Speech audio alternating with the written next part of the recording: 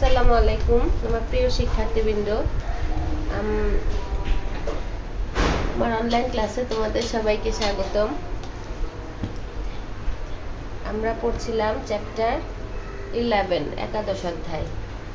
এখন সেটাতে ছিল মেন্ডেলের সূত্রগুলো। আজকে সেই মেন্ডেলের সূত্র পড়তে গিয়ে দ্বিতীয় সূত্রের যে ব্যাখ্যা এপিস্ট্যাসিস এপিস্ট্যাসিস করব।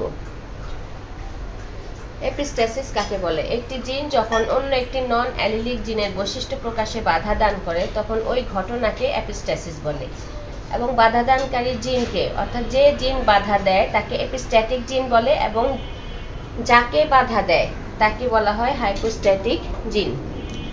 এপিস্ট্যাসিস দুই প্রকার, প্রকট এপিস্ট্যাসিস এবং দ্বৈত প্রচ্ছন্ন এপিস্ট্যাসিস এখন যেই ব্যাখ্যাটা পড়ব জিনতাত্ত্বিক, সেটা হচ্ছে প্রকট এপিস্ট্যাসিস একটি প্রকট জিন যখন অন্য একটি নন অ্যালিলিক জিনের কার্যকারিতা প্রকাশে বাধা দেয় বা প্রভাবিত করে, তখন সেই ঘটনাকে প্রকট অ্যাপিস্ট্যাসিস বলে। অনুপাত nine is to three to three to ওয়ানের পরিবর্তে হয় তেরো ইস টু তিন। আমাদের যে দ্বিতীয় সূত্রের যে রেশিও ছিল, সেটা ছিল nine is to three is to three is to one. এখন এর ব্যতিক্রম হবে এই এই রেশিওর পরিবর্তে হবে হচ্ছে তেরো ইস্টু তিন, এটাই হচ্ছে তার ব্যতিক্রম। ব্যতিক্রম ব্যাখ্যা করতে যেই এই প্রকট এপিস্ট্যাসিস আমরা পড়ছি। দেখো তাহলে কীভাবে প্রসেসটা সেই আগের মতোই, পিতামাতা অর্থাৎ ফেনোটাইপ ফেনোটাইপ কি হবে? সাদা লেঘর মুরগি। মুরগির সাথে সাদা ওয়াইন ডট মুরগির ক্রস হবে। তাহলে ওদের ফেনোটাইপ হচ্ছে এটা আর জিনোটাইপ হচ্ছে বড় সি বড় সি, ছোট আই, বড় আই বড় আই। এটা ছোট সি, ছোট আই। তাহলে গ্যামিট হবে এটা থেকে এটা, বড় সি বড় আই এটা ছোট সি ছোট আই এবং এই দুইটার মিলনের ফলে যেটা তৈরি হবে একটা বড় সি একটা ছোট সি একটা বড় আই একটা ছোট আই এই হবে জেনোটাইপ আর এদের ফেনোটাইপ হবে সাদা। তাহলে এই এফন জনুতে যে সাদা সাদা মুরগিগুলো সৃষ্টি হলো, এখন এই জেনোটাইপ বিশিষ্ট একটি ছেলে এবং একটি মেয়ের মধ্যে যখন ক্রস হবে, দেখো এখানে সাদা। তাহলে এফন জনুর মধ্যে ক্রস হবে। এফন জনুতে যে জিনিসটা পাওয়া গেছে, ঠিক সেই একই জেনোটাইপের মধ্যে ক্রস করা হবে। তো ফেনোটাইপ কি ছিল? সাদা সাদা। একটা ছেলে সাদা, একটা মেয়ে সাদা। তাদের জেনোটাইপ ছিল বড় সি, ছোট সি, বড় আই, ছোট আই, এই দুইটা।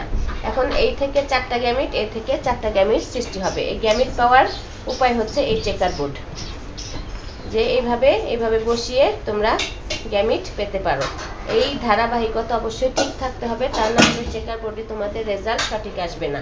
বড় সি, বড় আই, বড় সি, ছোট আই। ছোট সি, বড় আই, ছোট সি, ছোট আই। এভাবেই সবগুলো গ্যামিট হবে। এখন এই এফ টু জনুর যে গ্যামিটগুলা পাওয়া গেল, সেই গ্যামিটগুলা চেকার বোর্ডে বসিয়ে আমরা এর রেশিওটা তেরো টু তিন রেশিওটা বের করব।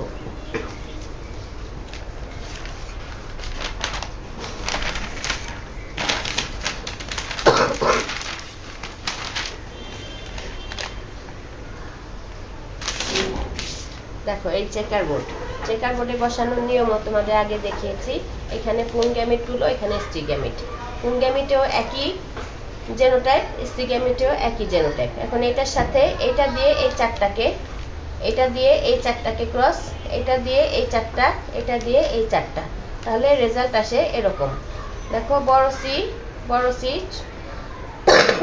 বড় আই বড় আই তাহলে এখানে আসে এক, দুই, তিন, চার, পাঁচ, ছয়, সাত, আট, নয়, দশ, এগারো, বারো, তেরো। তেরোটা হচ্ছে সাদা।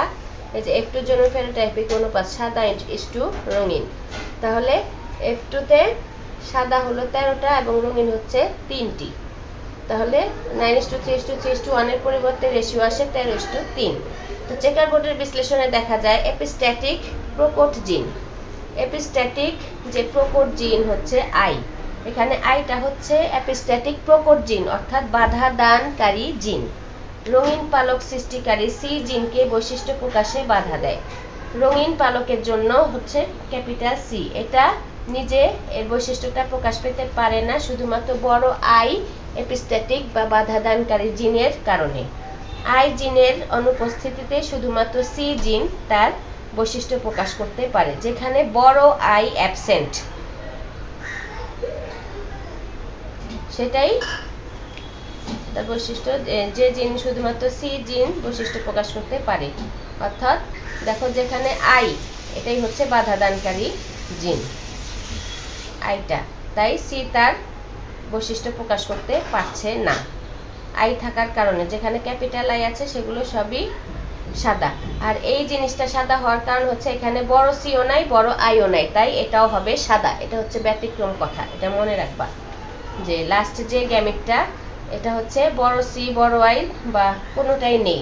এই কারণে সবটাই ছোট বলে এটা, এটাও হবে সাদা। তাই আমরা যে ব্যতিক্রম যে সূত্রগুলা, সেটা হচ্ছে nine is to three to three to ওয়ানের পরিবর্তে পেয়ে গেলাম তেরো ইস টু তিন। এই ছিল প্রকট অ্যাপিস্ট্যাটিক এর জিন তাত্ত্বিক ব্যাখ্যা। আশা করি তোমরা বুঝতে পেরেছ এবং সবগুলো সিস্টেম একই। তাই বুঝতে সমস্যা হবে না বলেই আশা করি। তো ঘরে বসে প্র্যাকটিস করবে আজকে এতটুকুই। আল্লাহ হাফেজ।